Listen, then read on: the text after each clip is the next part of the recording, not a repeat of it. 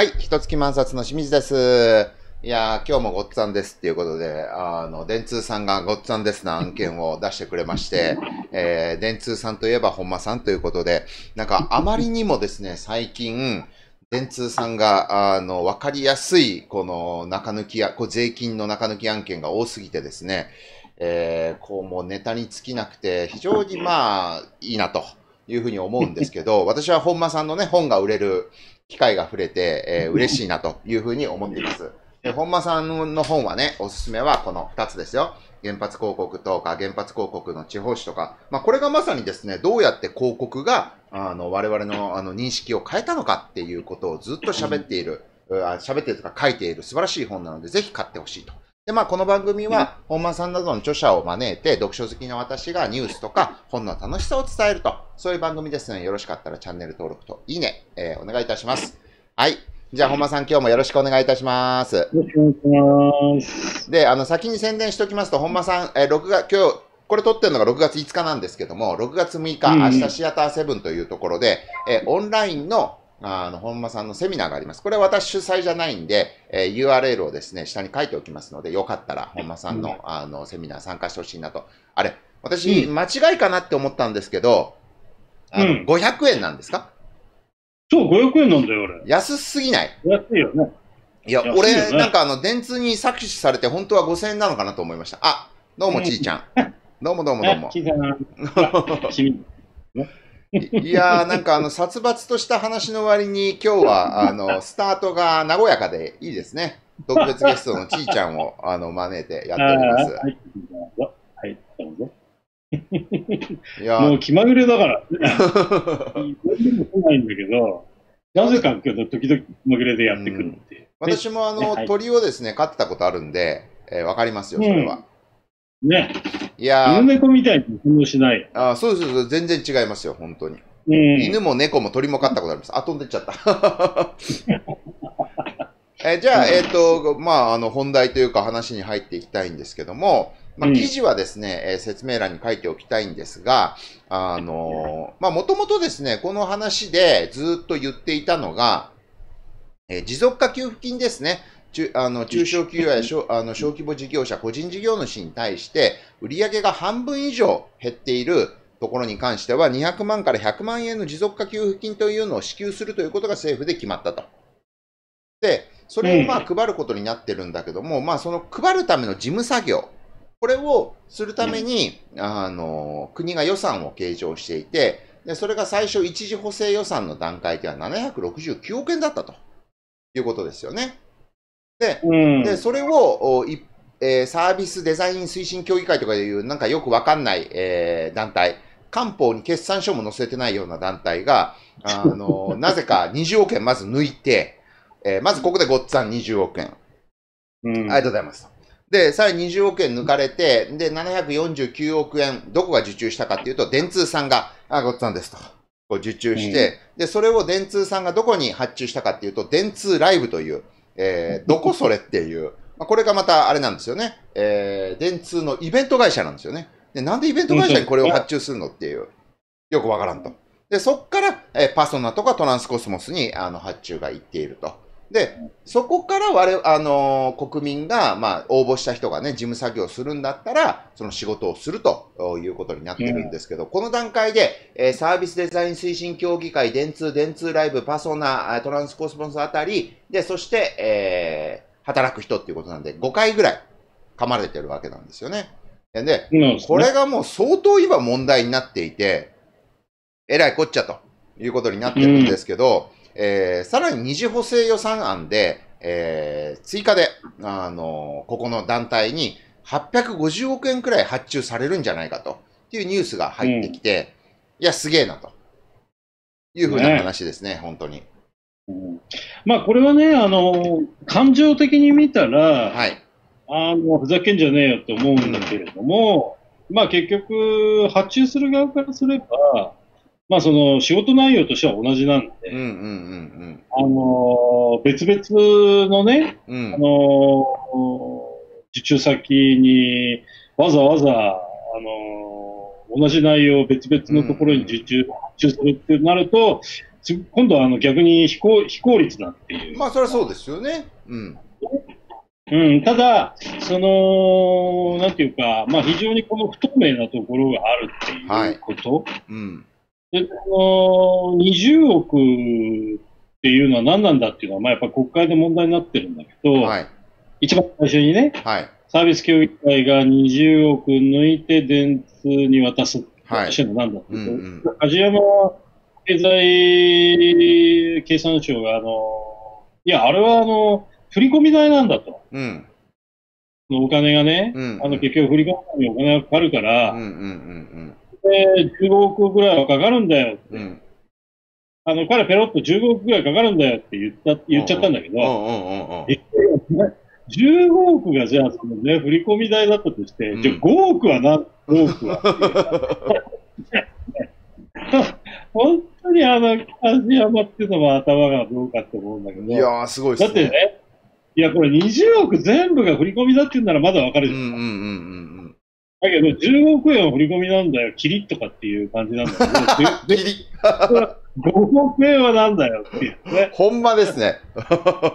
ねすごいな。5億円の、でまあ20億に比べたら、うん中抜き金額減るけれども、うんうんうんこれだけでも、それでもだってほら、あの、当社だけで5億円だかうん。らね。十分ごっつぁんですよ。うん。いやー、すごいな。まあ、不透明さは変わらないわけですねう。んで、それを政府が証明しちゃったわけですよ。うん。うん。いやー振り込み代は15億だけど、あと5億円は、あの、抜いちゃったんだぜって。うん梶山が言ったのと一緒だからね。大臣がこう、告白したと。そうそうそうそう。なんかもう本当に正直なのか、舐めてんのか、どっちかですよね。いや、まあ、完全に舐めてる。舐めてますよね。うん。うん。いや、すごいわ。まあ、それでその、結局、いや、なん、その、やっぱり、うーんと、まず、その、今、さっき清水さんが説明したように、なんちゃら協議会っていう、全く、その、そもそも、あとうん事務所さえない、うんうん。そうです、そうです、そうですそうです。ね、トンネル。幽霊法人。ね。そこがその、1億にせよ、5億にせよ、20億にせよ、あの、受注した段階でいきなりその億単位の金が抜けるっていうのが、そもそもすごい話。すごい。で、電通に丸投げして、で、丸投げしてもらった電通は、まあ、いつもの通り自分の子会社をかませて、その、社内で一回抜くんだよね。うんうんうんその、電通からパソナとか、電通からトランスコスモスに、うん。うん。その、振っただけでは、うん。管理進行料が1回しか取れない。そうですね。ですよねうんだけど、ここに電通、なんでしたっけ、あの、会社うん、電電通ライブ通ライブをはい。出ると、電通ライブで1回。うん。で、電通ライブからパソナでもう1回って、まあうん2回抜けるわけだうん。からね。あの、まあ、抜ける抜けるって言うとなんかねすごく悪い言い方してるんだけど、あのいわゆる管理、あの、僕、ね、僕らのこの世界って管理進行料をはい。呼んでるんですよ。うん。で、まあ、あの、要するに、まあ、管理してますっていうことだ。実際別にこの仕事の場合は管理なんか全然電通しないと思う。うんうんうんうん。パソナに来れば終わりだと思うんだけども、うんまあそういう、その、結局その人様にお仕事を、えー振るときに管理してますっていう題目でお金をいただくのが、うんうんまあそれが国会のあのビジネスモデルなので、そうですね。うんうんまあ、まあ1回ぐらいはわかるわけうん。うんですよ。うんだけどそこに子会社バシャバシャかませて、うん。うん2回も3回も抜いていくっていうのが、やっぱりちょっとこう、やりすぎなんじゃないっていう。そうですね。うん。うん。まあ、もちろんこれはあの、うんと、広告代理店だけにあの、限った話じゃなくて、うんうん。いわゆるあの、ゼネコンなんてもみんなそうなんだよ。そうですね。うん。まあとにかく今回はその持続化給付金っていうこの国民のこのね、金銭に触れる部分うん。でやったってまたバレちゃったってうんうんいうう、んうん。で、しかもその抜き方が露骨だったっていう、うん。はい。いうことですよね。で、あの、まあ、これで、その、要するに769億円と850億円が、まあ、はいいっちゃった、いっちゃったというか、いったわけですうんけど、まだまだこんなもんではないよ。ねうんあとの真打ちが、まあ、そう、真打ちが待ってるからね。うん。ね、あのーえっと、GoTo キャンペーンって言ってるやつよね。うん。あの、コロナが終わった後に、うん。えー経済と観光振興のためうに、ん。えーえー皆さんにまた、その、あの、旅行券配ろうとかなんとかっていう話、なよくわかんない話ですよね、あれも。わかんない。そもそもいつそんなことができるようになるのかもわからんない。はい。うん。うんだけど、もう、えー発注だけはするとそう、決まってるわけですよね。うん。ね。それで一応、えっと、いつまでだっけ ?6 月の8日ぐらいまでがその入札期間うん。ですよね。だけど、この入札期間も10日だったか2週間ぐらいしかない。はい。非常に短いうんうんものうんうん。あのー事前のその内部情報のリークがなければ、とてもじゃないとけど対応できない。うんうんうんで、やっぱり電通のその内部の人たちの情報だと、うん。うん。まあ、GoTo キャンペーンもうちに来ることが決まり、うん。ね。すごいですね。的な話。うん。ね。あれのだはって、経費3069億円だったかな？ねえ。ねすごいよね。すごいっすね。すごい。で、3000億でしょ、はいだから僕、昨日もツイートしたんだけど、まあ、すごく荒っぽいけど、電通の管理進行量って大体20%うんうんなわけですよ。2割。うんうん。うん。ということは、3、2が6で、600億。600億入ってくるっていうね。はうんあ。ああ、ごっつぁんです。そうなんです。いやもう羨ましいな、本当に。ね。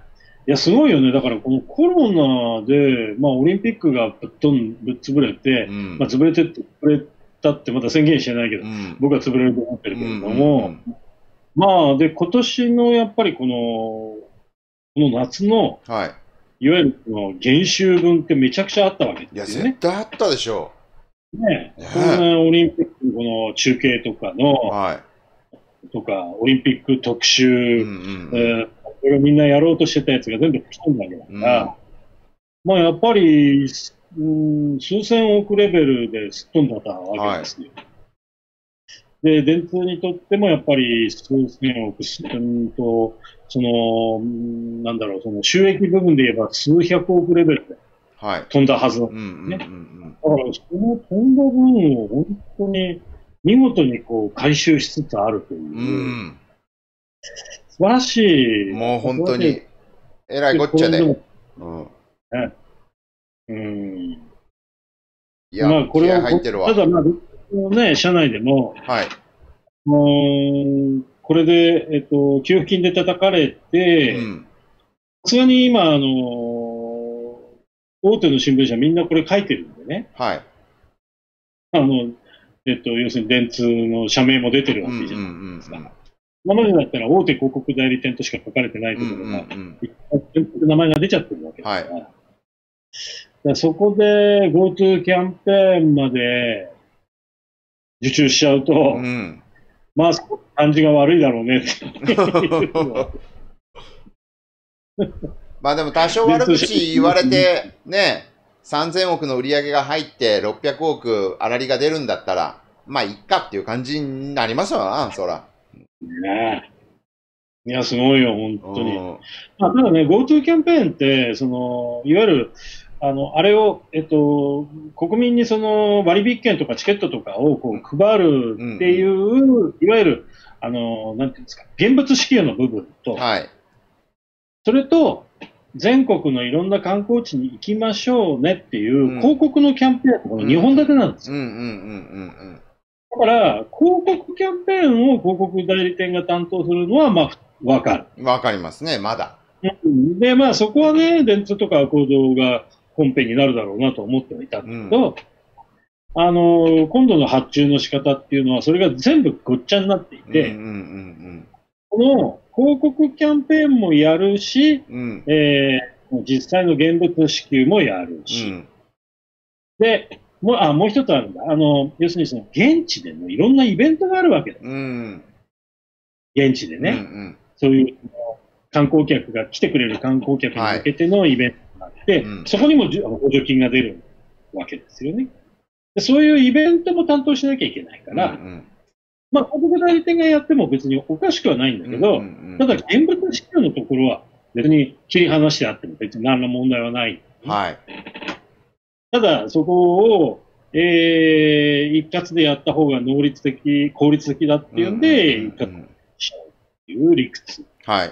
で、三千数、数百億。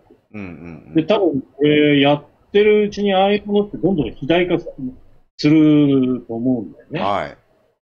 だからまたさらに追加予算が出るとうんうんう思いますけど。んうん。うん。これはね、美味しいわ。いや、もう、すごい美味しい仕事ですね。ほんと。でちなみにですね、のあはい。うん。あ大丈夫ですか？大丈夫。あのーコロナあー、そのか経済産業大臣が振込手数料なんだというふうに言われましたよね。で確かに報道を見てるとですね、サービスデザイン推進協議会がみずほ銀行に対して、えーはうんあの振り込み作業を発注しているんですよ。で、これが、あーまあ確かにその通りだなというふうにあるんですけど、確かね、私この一般サービスデザイン推進協議会の理事の名前を登記簿謄本で調べて、全部検索したんですよ、名前で Google で。うんうん。で、そしたらね、みずほ銀行の人確か入ってたんですよ。ってことは、みずほも噛んでるはずなんですよね、これ。うんで、まあ、ただうん Google で検索しただけなんで、もしかしたらただの同姓同名の人なのかもしれないんですけども、うん噛んでる可能性もあると。で、次に振込手数料が15億円っていう話なんですけど、振込手数料って今、まず都市銀行間だったらかなり安くなってるじゃないですか、100円とかね。で、うんでもまあ、他他行にやるんだったら300円とかかかる場合もありますよね。うんで、そう考えると、まあ、ちょっとまあ、多めに見て300円1回振り込みあたりにかかると考えて、100万社に振り込んでもですね、3億円なんですよ。うんうん。で、なるほど。これ、15億円の振り込み手数料って500万社とかなんですよね。で500万社も日本に中小企業まず存在しませんようん。個人事業主と全部合わせても、個人事業主足す中小企業全部合わせても、多分、すんごい多く見積もっても600万なんですよ。うん。で、でもそれって全部が、で、その600万っていう多めの数字でも18億円じゃないですか。うんうん。じゃあやっぱり15億、20億に足らないんですよね。で、15億、600万社が全部赤字なんてことはありえなくて。半分以上赤字になってるわけで、だって中小企業と、あの個人事業主すべてがですよ、もうすべて売上5割減していたら、まずそもそも財源が足らないですよね。うん。あの、1社に対して100万円配るだけでですね、えー6兆円ですよ。うん。だって中小企業が200万社、それがえー2兆円だとすると4兆円で、で、で、残りの個人事業主400万人に対してですよ、えー100万円配ったら4兆円なんで、8兆円かかるわけですよ。なるほど。全く足らないわけで、で、政府はですね、おそらく4兆円くらい見込んでるわけですよ。今回の給付する金額っていうのを。うんうんでそう考えると、やっぱり、多く見ても2、300万社なんですよね。個人事業主合わせて。で、そこに300円をかけると6億から9億円なんですよ。うんうん。だから多分、梶山さん、大臣はですね、まあ、ぶっちゃけ6億から9億しかかかんなくて10、10億以上抜いてるんだけど、それだとちょっと良心が痛むから、え ちょっと持って15億円っていうふうにこう言ったんじゃないかと、私、本間さんの話を聞いてですね、想定をした、にせよ丼だよね。想定をしてみました。いやー、まあでも、どっちにしろやっぱ振り込み手数料とちょっと高すぎますよ、これは。あるうね。ん。おかしい。うん。本当高すぎるう。んそう、おかしい。っていうか、それも定、なんか定価でちゃんと払う払うのかっていうふうだよね。ねえ、本当に。うん。こんだけバルクで発注するんだから安くしろって言ってるかもしれないし。悪くで発注するんだから、お前一件10円ぐらいにしろよって話だてかよね。、そもそもなんでみずほ銀行だけなんだよっていう話もね、よくわかんねえし。うんうん、うん。そうだね。田舎だったらゆうちょ宝くじの方がいい。え？宝くじの、ほら、あ払いあ、込み工事で、第一関銀の頃からの、あの、流れそうそうで。みずほなんだよね、あれね。なるほど、なるほど。まあ、やっぱり、あの、国策銀行だからね。うん。いや最、近、まあ、ほら、ATM 問題解決しなくて、うんあそこも苦しいから。確かに。まあ、ATM がね、あの、解決しない問題はね、あの、システム屋さんの視点から見ると、本当にマジ大変そうだなとは思いますけどね。うん。まあ、だって水でもあれ何年やってるんだっけ、もいや、いくらもうなんだ10年ぐらいやってるじゃないですか。う。ありえへんよっていう話だよ。本当に。すだって、ごいよ。みずほ銀行ってもともと第一勧業銀行と富士銀行と日本工業銀行おなんですよね、確か。で、うんこの、まあ、この特に第一勧業銀行と日本工業銀行っていうのが、ものすごいもう、まあ、ある意味国策銀行の、あー一つだったん、あ、うんたちなんで、でまあ、まあ、政府のお金はこっちに任せるというのは、まあ、うん。彼らの常識からするとそうなのかもしれないけど、うん、まあ、平等とか公平とかっていう観点から見ると明らかに外れてるなとは思いますね。うんなるほど。はで、そこが、そこが今回こっちにも噛んでいる。い。ね噛んでて、ごごっつぁんですと。こう、してる。うんいや、なんでね、すごいね、こういうふうにやるっていうのは。うんううん。で、これがだから、こういう、その、コロナがあるからこそ、こう、表沙汰になってくるっていうね。あのーで、しかもそのみんな、国民が、今まで以上にこの政治に関心を持っちゃってるわけです。そうです。まあ、なんせコロナで暇ですから。うん。ねでみんなね。満員電車で疲れてないしうん。一日中画面見てるかうら。ん。うん、だからまあ、タイミングが悪いっちゃものすごく悪い。うんうんただ、これを、じゃあ、あのいや、電通が悪いからって言って袋叩きにして、他のところがじゃあすぐに電通の代わりができるかっていうと、これがまたなかなかね、そうですね。うん。あのいや、まあ、あの、時間をかければできるんですよ。うんうんうんただ、結局、その、電通の凄さって、うん。うん。あのーもうとにかく、いやー、もう24時間しかないんですけどって、うん。あの、言われても、うん。あのー、36時間分ぐらいの仕事を突っ込んでくるっていう。まあ、そうですね。うん。まあ、そういう凄みはあるわけ。うんうんうんあのー、そういうのって本当箱堂とかにはできうん。うなんいうんんだよね。で、今回のこの、さっきもまあ電通の人とちょっと話したんだけど、あのー、こういったこの例のサービスな、なんだっけ、なんとかサービスデ。ザイン推進協議会。うんうん。ああいうなんか、そういう、なんていうのかな、こう、聞いただけでも恥ずかしい感じの、あのーそういうトンネル会社を作るって、は箱堂とか絶対できないからうね。ん。やっぱりあのーなんていうんですか、明らかにグレー、グレーゾーンン。狙っていく手法じゃないですか。うんうんうんうんあの、すごい、だって、事務所もないんだから。うん。すごいよね、本当に。事務所、事務所がないんだからさ、はいトンネル会社決まってるわけですよ。だけど、そこが経産省とのパイプがあって、うん。今までにもすでに1000億ぐらいで出券の仕事を。受注してえっと、全部で1500億円くらい受注してます。うん。それってね、そういう真似ってやっぱね、箱堂にはできない。うん。うん。あのー、まあ、会社、あの、いや、あれ、あの、発想はできるよ。うん。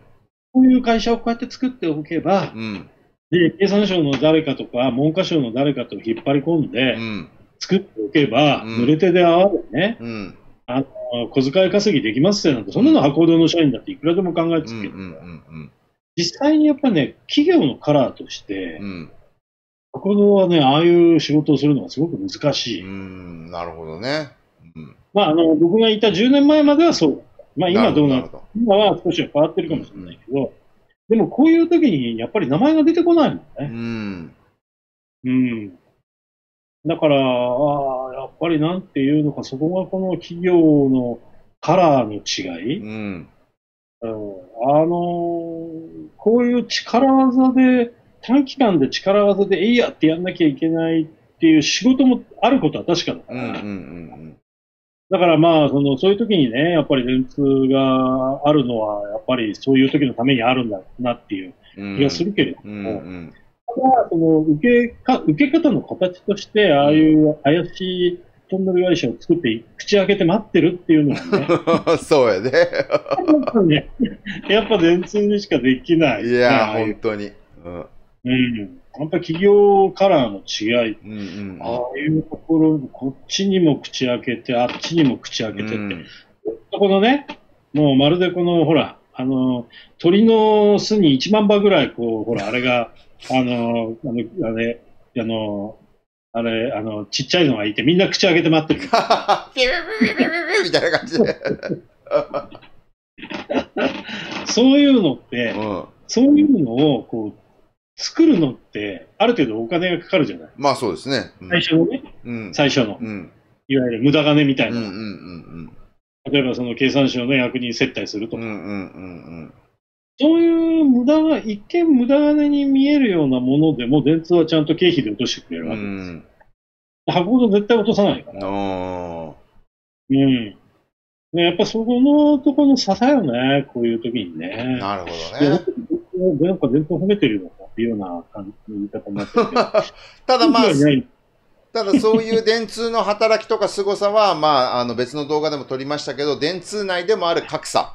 この電、コネ入社で入った貴族組と、一般に入った、あの、奴隷組で、奴隷組がめちゃくちゃブラックな仕事をして成り立っているという側面もあるわけですよね。